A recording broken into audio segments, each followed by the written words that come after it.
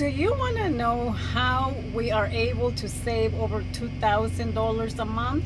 2000 Over 2000 Keep on watching because we're going to share with you what we're doing different in order to save, you know, that kind of money. So, um, last month we decided that we was going to move into our semi truck and just live in the truck full time we went back home, which you know Florida is was home for for us. So we went.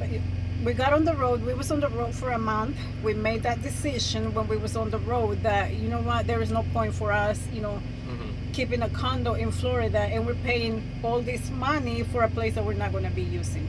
After I after me quitting my job, you know, it was just like there is no reason for us to keep that you know condo there if I'm going to be going on the road with Seneca, you know, Mhm. all the time. So we went back to Florida. We sold literally every single thing that we had. All of the furniture, everything, all the furniture. We sold Seneca's car. We donated a bunch of stuff to, you know, people from the community. And we got rid of everything that we had there. And, you know, we kept one car. We still have one car in Florida because that's where we, you know, plan on going eventually. So we kept one car. We have it in a uh, storage unit. And, you know, that is saving us so much money. If Now- we don't need it, if we don't need it, it's gone. it's gone and that was the mentality we wanted to have a super minimal life we packed two bags one for him or two bags for him two bags for me and that was it that's all we have here in the truck we don't have nothing else i got rid of all of my clothes and shoes and high heel shoes and you know things that i'm not going to be wearing out here like why do i need to have Not the Louis though. not You kept the Louis purses. that was the only thing i kept Yeah. so anyways um you know we kept like very minimal things. We have a couple uh tabs with you know some stuff that we kept there but that, that's it. Like we got rid of everything. We said we're gonna have a very minimal life out here. Only bring what you need only bring what you're gonna be using out here. And that that's and that is exactly what we did. You know that's exactly what we did. Just you know get rid of everything so now you know looking back we're like oh my god you know that's going to save us you know over two thousand dollars every single month that we don't have to worry about you know Yeah, it, it was a little over two thousand. it was over with the yeah, utilities, with the utilities yeah. electricity bill that we're not utilizing, and you know it's just extra food and everything just Yeah. that comes along with maintaining a condo hmm um, or any kind of living space. yeah We got rid of it. It's Yeah. done. Saves us over a little bit over um, two thousand dollars, obviously, which equals like twenty four thousand annually. So it's that's a lot of money Yeah. It's so to of money, save that is, is is a big deal. yeah it is It's not for everybody, but No. it's the route we took. yeah it's not for everybody you know living in a truck is not for everybody um, it works for us we're fine we're you know happy to be out here to be on the road and um, you know i i have what i need in here you know. As long as you know we have the truck we're in the truck we're together. For us you know now home is where the truck is you know and if we're together and making you know some money out here that like that's all we need. We don't need nothing else. Nope. so you know w- within trucking if you want to get ahead of the game and you want to be able to save money it's all about cutting expenses cutting unnecessary expenses i'm not telling you go get rid of the house if you have a family if you have kids like you know obviously that's not what i'm saying you know Get rid of your kids. Get, get rid of the house get rid of the kids and you're gonna save money by doing that I, I guess. that's not what I'm saying.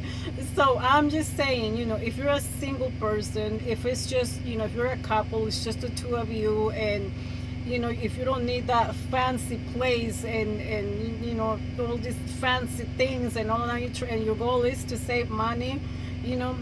It doesn't hurt to live in the truck, you know. We don't Mm-mm. plan on doing it forever, maybe a year No. or two. We, we'll see. Like we don't know. Like we shall see, you know. But you know, just cutting down on the unnecessary expenses is going to save you so much money at the end of the day. Mhm. And we're all about saving, making money, saving money, and investing money. Like Yeah. that is what we want, you know, for our future. Yeah.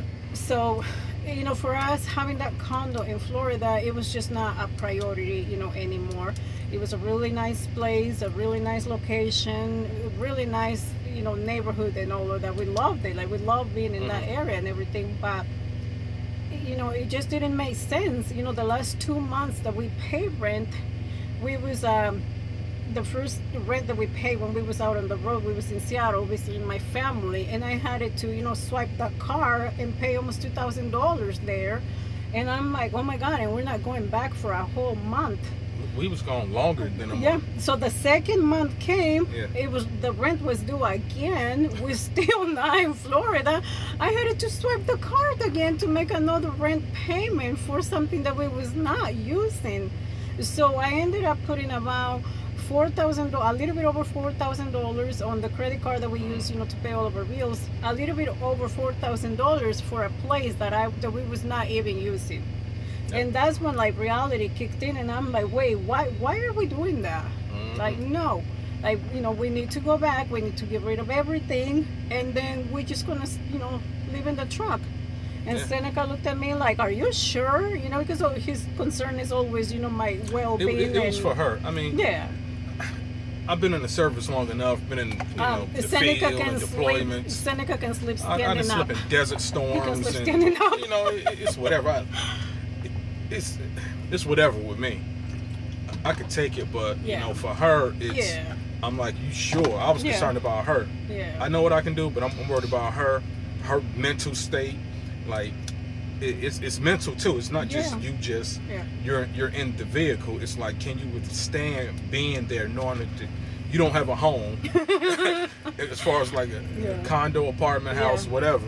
You don't have it. you don't have that no The more. The truck is your home. Yeah, Now, granted, um, if we wanted to just take a break and go to the hotel, Yeah, that, that's what we agreed to. We said every once in a while yeah, we're gonna um get a hotel, yeah, maybe an Airbnb. I prefer a hotel yeah. every once in a while and take a break from the truck. From the truck. Yeah. just you know for both of our sanity. Yeah, yeah, So- and, yeah, and, tha- and that's the plan. You know, God forbid something happens with the truck, you know, and breakdown. Knock on wood, and nothing happens. But uh, you know, if we have another breakdown or anything like that, we Mhm. just you know get an Uber, take us to a hotel, take us to Airbnb, whatever we want to do in that area. That's what we did when we was in Nevada and the truck broke down. We had you know put it in the shop. It was gonna take them like two days to have it ready we got an uber took us to a hotel near the you know where the shop was and we was there at the hotel for like two days. We actually had a good time at the hotel enjoyed some good food. It was a nice hotel. So it was you know you gotta make it work because those things are gonna happen when you're living in the truck you know? Yeah. and that's the plan you know we came in into you know moving into the truck full time understanding that you know he's he's the one driving. So you know understanding that at any time that you need a break we'll just park get you know get a nice hotel get a nice airbnb and let's take a week off. Take whatever we need to take off for mental sanity space and you know just to to break the routine of being in the truck every single day. So that you know for us that's the plan and it works. We're really um minimal people. We don't need you know Mhm. a lot to be happy. So for us it's fine. Yeah, it I save mean- us money. Everybody's situation is different, Yeah. so I mean, I understand. You know, if you got a family, whatever your situation is, um, Yeah. everybody can't do it. yeah However, um, I mean, I, I know a story. Um, when I was in school, in, in Roadmaster in CDL school, um, I heard a story from one of my trainers of a homeless guy. Yeah, a homeless guy who was living under the, the highway, you know, the um, the overpass. He lived under it. He had a little tent under under um, under the highway, and he used to go to school every day. Go to school every day. he was in trucking school He was in trucking school every day. Yeah, and eventually, um, he actually worked his way out of being homeless, driving for the company um, that he that he worked for, and eventually purchased his own home. So I can only imagine like what he was, what he had to do, or, or his mental state. You Yeah. know, I, I feel like if he can do something like that, I'm like I can, I can handle it. You Mhm. know, I, I could deal with that. yeah So And we're not saying go homeless. go homeless to save money. That's not what we're saying. No, I'm not saying it. I'm just sharing a story. Yeah. Yeah. yeah. So, like I said, you know, uh, within the trucking industry, as an owner operator, you gotta you gotta do what you gotta do to cut down expenses if you want to get ahead of the game. Otherwise, you're gonna struggle a lot. You're not gonna be able to save a lot of money if you don't cut down expenses. The less expenses you have, the more money you get to keep every month, and we're all about that life. And you know, for us, we have a, um, adult kids that live in Seattle. They have their own place over there. So, you know, before we decided to um, to get rid of the condo, we you know we talked to them. We was actually in Seattle when we you know made that decision with them. You know, we talked to them about, hey, you know, Seneca, you know, but if if at any time she feels like she needs a break from the truck and she needs a home, can she come and you know stay over here you know with you guys for a minute or whatever? And i you know i said the same. I asked them. I was like you guys okay with that? If i ever want to just you know get away from it can i come and just hang out with you guys here? And you know knowing that i have that you know with my family as well if i ever needed it i'm not saying that that's going to be the case you know because we're fine and we can just get a hotel. But if that was my only choice if that was our only choice then you know we got family too so. Yeah. but so far so good like we've been out here for what almost two months now Roughly about two. about two months Yeah. yeah since you know since we so we got we came on the road first for a month and then we went back to florida got rid of everything and and came back you know f- Mhm. to moving here full time now Yeah. and i don't i don't regret it at all i don't feel like i need to have a, a big space for now i am super content i'm super happy you know i have what i need in here. I stay you know i stay busy all day throughout the day doing things on my computer doing things that i do out here. And, and it's all about you know keeping your mind entertained and busy with things so that you mm-hmm. don't like start going crazy or anything like that. You know, we get out, we walk around, the truck stops. We, you know, whenever we're in that area where there's like trails around, you know, the, we get out and walk. You know, get out, get some fresh air, do something. You know, you can't just sit in the truck all day long because it's not, you know, it's not good for your mental health probably. Yeah. But for us, it's so far so good, and you know, knowing that we're going to be able to save, you know, even more now that we don't have that payment, that rent payment. You know, it's it's um, it feels it feels good. Yeah. It feels good not having to, you know, pay for something that you're not using. It feels good to save. You do, you do, and we have some super ambitious goals that we want to get to. Hopefully, sometime next year. So we're gonna, you know, share with you guys more of that as we go. But we have a lot tuned. of yeah. So we have a lot of, you know, some other goals that we want to accomplish within trucking, within you know the business and all of that, and we're gonna need good chunk of money for all of that. So the more we can save, the faster we can get to that. Mhm. And you know, that's what we're trying to do. That- that- Yep. That's that's the end goal for us. Now that we're gonna settle down somewhere sometime, we, we have a, a free spirit. We're like so um, we like being out there. Yeah. I mean, We- it, it, it don't bother me. no, no. I mean, of course, we wanna you know settle down one day somewhere. Uh, most likely, it's gonna be in Florida. Mhm. Uh, you know, we already have a home in Washington State. If we, you know, ever wanted to go back and forth or whatever, but most likely we're gonna make, you know, Florida a full-time, you know, residency eventually. Probably like two years from now, not anytime soon. Mhm. And um, and we'll take it from there. We'll see. We'll see where this goes, you know, from here. But yeah, guys. So we just wanted to share, you know, uh, the the experience for us, you know, so far us living in the truck. Mhm. so far so good. It has been working out just fine for us. Um, that it's for everybody. It's not for everybody. If you're really high maintenance you know female male whatever then you're gonna struggle. You're gonna struggle a lot but but for us it's fine and you know we're we're happy that we did it so Yeah. we shall see you know hopefully we can save a lot more now and then um, and see how we can invest that money into trucking you know in the near future Yep.